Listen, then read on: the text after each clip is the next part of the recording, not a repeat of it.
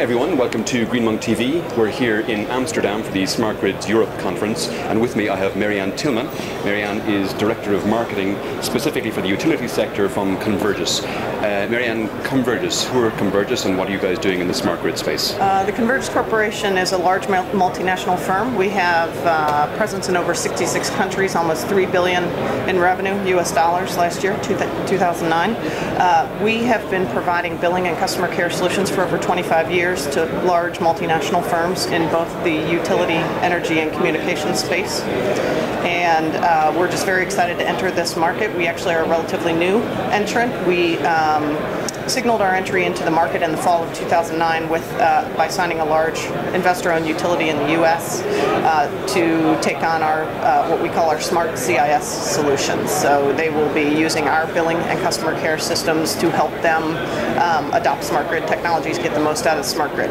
Okay, so why why would they use your CIS, your customer care and billing solution, as opposed to anyone else's? Uh, well, we've uh, you know what we've seen in, in, the last year or so since we've been spending a lot of time in this space is that there is actually quite a void in the capabilities that are available today from a billing and customer care perspective. Um, it's been a fairly static uh, area of the industry up till now.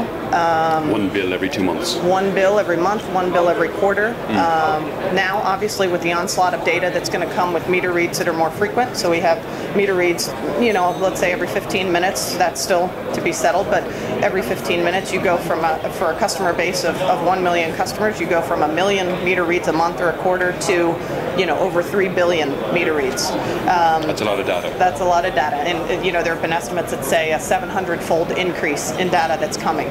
So our history is long and strong in relationship management and customer management, and we uh, feel like we have a, a, strong advantage in helping utility providers not only collect that data and manage that data, but actually apply it, leverage it, and use it with customers to change customer behavior. I think that's going to be one of the biggest challenges utilities have to face. In fact, Convergys has done a survey at this event, which will be um, uh, putting out the results of. But one of the things that came across very clearly in that survey and the attendees at Smart Grid Europe is that they feel um, that it's going to take quite a bit of time to change customer behavior to really get them adopting renewables in earnest, um, to really taking on sustainable behavior. So we think that um, that data is going to prove very, very critical, um, you know, in making those behavior changes at the consumer level. So you're, you're, you're going to help utilities help their customers reduce their bills. You got it. So um, it, that was another thing actually that we found in the survey that a big motivation is to cut costs for the end consumer. So um, you know, figuring out how really the balance, right? How do we cut costs for consumers, but how do we also enable new revenue models for the utility because they don't want to go out of business. Fantastic, Mary Ann. Thanks a million for coming on the show. Okay, thank you.